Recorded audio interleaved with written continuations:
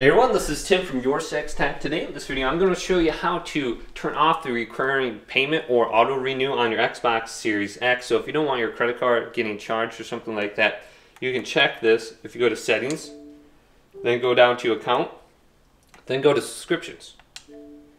Then under here, you can see your currently active subscriptions, but I have one that's canceled right here for Game Pass Ultimate.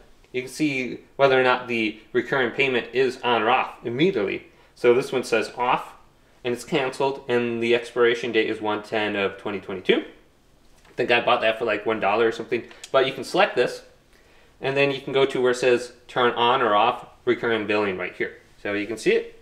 It's very easy to turn this off and and you can see the expiration date that when your account is going to expire. So there's really no um, way to mess that up.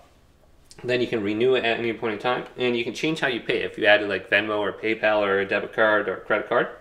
And then you have the option to cancel your subscription on the bottom too.